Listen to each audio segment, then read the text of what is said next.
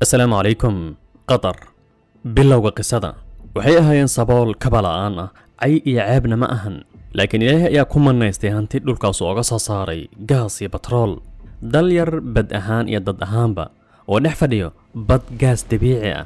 Hanti ay sokeeye iyo shisheeyaba damceen. Dalkuna wax badan khatar u galay. Masiir madow hantidaas ilaahay ku manaystay awgeed. Waqooyiga qatar gudaha badda waxaa ku yaalla dhul bad ahaan gaarayo lix kun oo kilomitro iskuweer ah laguna magacaabo xaqlu shamaal lilghaasi abiici waxaa dhex ceegaago trilyonaad mitir mukacab gaas dabiici ah. Waana meesha caalamkan aan ku noolnahay dhulkan aan ku noolnahay meesha ugu badan ee uu ku kaydsan yahay gaas dabiici ah. Kun sagaal boqol iyo siddeetan sagaalkii ayaa shixnadii ugu horreysay gaas laga soo saaray dalkan. Guryihii dhoobka ka samaysnaa waxaa loo bedelay saro muraayad ah. Waddooyinkii ciidda ahaana laamiye caalami ayaa laga dhigay fursado iyo shaqooyin kumanaan ah ayaa abuurmay. Waxaana ku soo qulqulay boqolaal kun oo qof oo ka kala imaaday. Waddan walba oo caalamkan ka mid a waxaad arkaysaa cid walba. Kuwariyaan ayaad arkaysaa shiinees ayaad arkaysaa aasiyaan oo dhan ajaanib ingiriis jarmal maraykan yurubiyaan oo dhan cid aanan joogin ma lahan.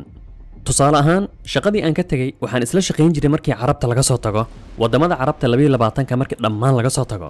Waxaan meeshaas iskala shaqayn jirnay ingiriis turki slovakiya romaniya bakistan hindi iyo iiraan dal yar oo qani ah. Haddaba waxaa dabiici ah inuu noqdo dalka dakhliga fardiga ugu sarreeya caalamkan aan ku noolnahay. Laakiin adduunkan ma jirto meel boqolkiiba boqol janno ah. Waxaa caadi ah inaad aragto dad nolol adag ku jira dalkan ama la daalaadhacayo qaalinimada nolosha qatar aanan awoodin xitaa in ay xaasaskooda keensadaan in shan qof ama afar qof ay hal qol isla degaan qaalinimada guryaha awgeed qadariyiinta waxay dhahaan ereyga dalka ugu dakhliga badan fardiga wuxuu nagu furay albaaba jaxiimo ah sida damaca ummado kale iyo qaalinimada in xitaa shirkadaha wax u soo dhoofinaya ay dhahaan waa dal aad qani u ah wax walba ay qaali ku imaadaan waxaa jira dad habeen iyo maalin ku taamaayo imaanshiyaha qatar waxaana ugu dambeeyey fariin iga soo gaartay maraykanka qoys soomaaliyeed oo ku sugan halkaas waxaan rabnaa waddan muslim ah oo carruurta ay wax noogu bartaan qatar ayaan imaan rabnaa bal ka waran haddaba waxaad weydiiseen ninkii saxda ahaa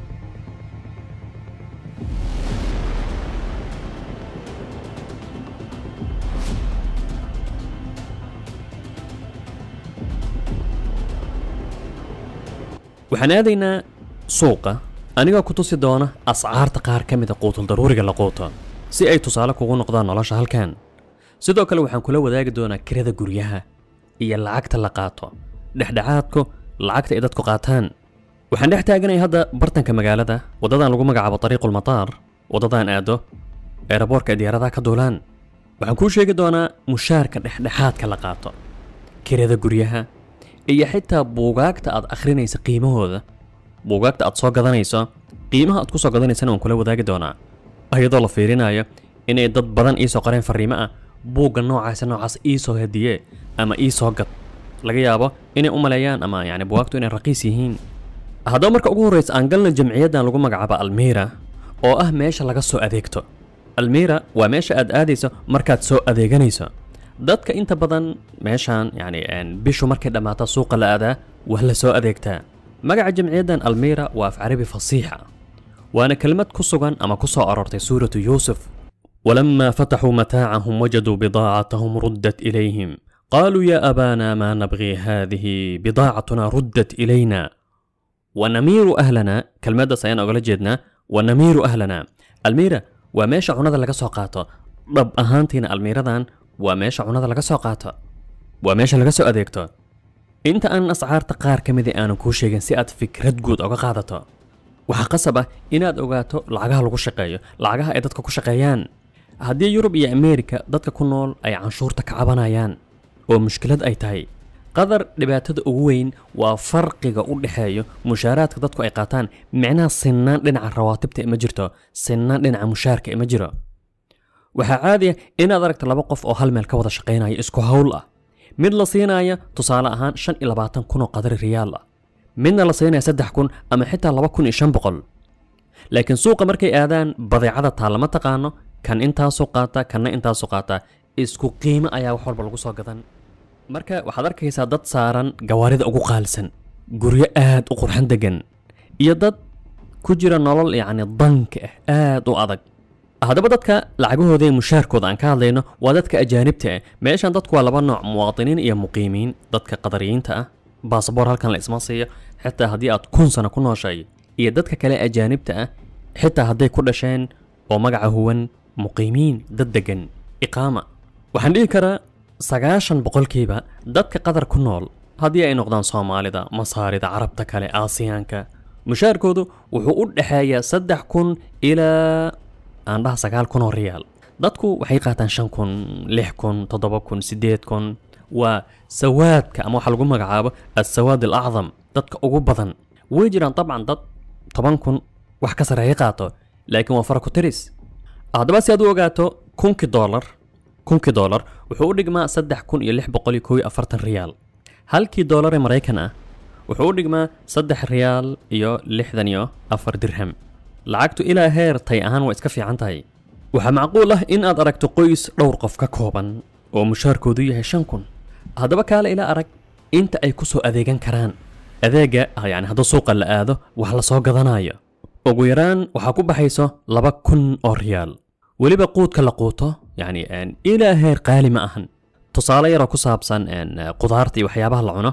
Halka kiile tusaale ahaan kiile iyo wax yar oo moos ah qiimihiisu waa toddoba riyaal iyo kow iyo toddobaatan dirham. Dirhamka micnaha meeshan waa jajabka waa santiga oo kale wax qiime ma lahan. Haddaba toddobadaas iyo kow iyo toddobaatankaas dirhame riyaal waxay u dhigmaan laba doolar iyo jajab. Yacni kiilo moos iyo wax yar ah waa laba doolar iyo jajab. Sidoo kale kiile iyo wax yar bataati ah wuxuu u dhigmaa ku dhowaad shan riyaal afar riyaal iyo siddeetan iyo sagaal dirham. Oo u dhiganta sidoo kale hal doolar iyo soddon iyo afar senti. Tusaale kale laba kiilo basal ah waa shan riyaal iyo afartan iyo laba dirham hal doolar iyo sidoo kale bar. Sidoo kale kiile iyo baryaaniya ah toddoba riyaal iyo kow iyo lixdan dirham waa laba doolar qudaarta dabcan inta badan dibadda laga keenaa haddaad aragto turki iyo filibiin iyo waxaasa ku qoran.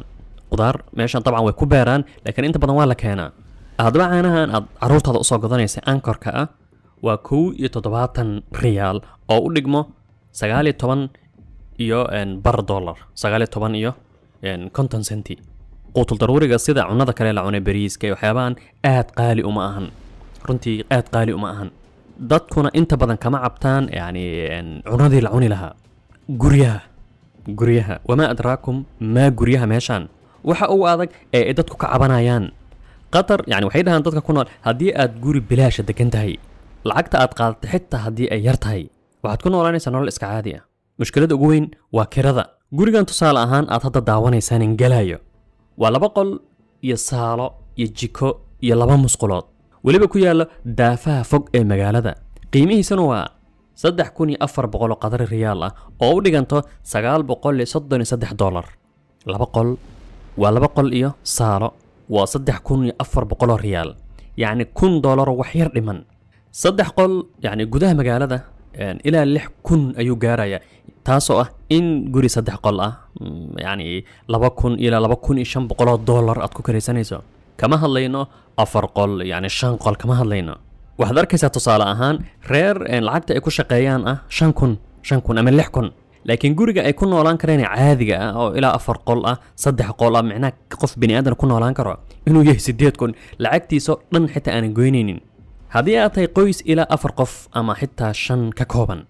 mushaarkoodunu yahay lix ama toddoba kun ama xitaa sideed kun haddaba ma degi kartaa yacni guri aad ku bixinayso lix kun oo riyaal sidaas darteed qatar iyo khaliijka inta badan markii dabcan sacuudiga oo raqiisa laga soo tago waa meesha caalamkan aan ku noolnahay ugu badan ee ay ku nool yihiin dad cusaab ah dadkan yacni dadka halkan ku nool hadda boqolkiiba siddeetan haddaanan qaldanin ama toddoba yacni nambar aad u badan oo argagax leh waa rag dumarku waa boqolkiiba waxaanan badnayn oo intooda badan u badan muwaadiniinta halkan degan sababtoo ah yacni way adag tahay qofka inuu xaaskiisa iyo carruurtiisa keensado nin masri waxaan xasuustaa gabadhiisa ayaa u dabaaldegaysay inay canugii ugu horreeya dhashay gabadhiisaas hooyadeed asagoo shaqaalu halkan ku guursaday soddon sano ayuu ku jiraa inuu baxo soo laabto inuu ma keeni karo ma awoodo yacni guri ma degi karo eh, ay soo weydiineen buugaagta caadiga la akhristo nolosha iyo waxyaabahan ku saabsan inta badanna buugaagta ganacsiga aad soo gadanayso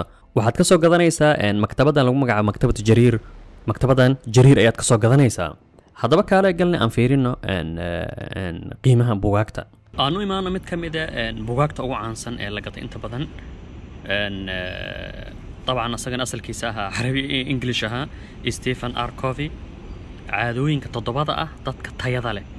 Mar baan ka hadalnay sidoo kale eh, qadari ahaan wuxuu kugu kalifaya kitaabkan ma buuggan sagaashan iyo sideed qadari riyaal ah oo u dhiganto yacni labaatan iyo toddobo dollar. Eh, waxaad ku gadanaysaa labaatan iyo toddoba dollar.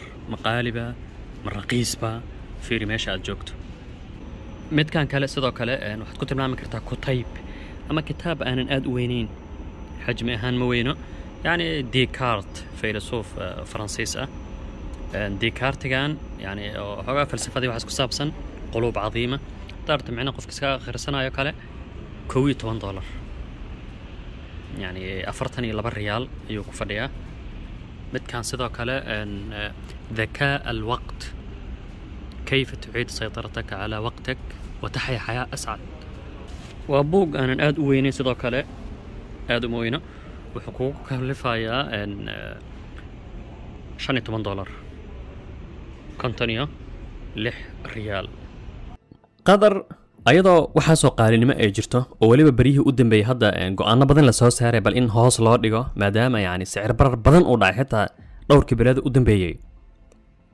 haddana waa dal muslim ah oo noloshu iska degan tahay yacni een, eh, qofka inta badan uuna ka walwalaynin yani wixii uu cuni lahaa haddii uu guri helo umuurihiis ay tamaam yihiin.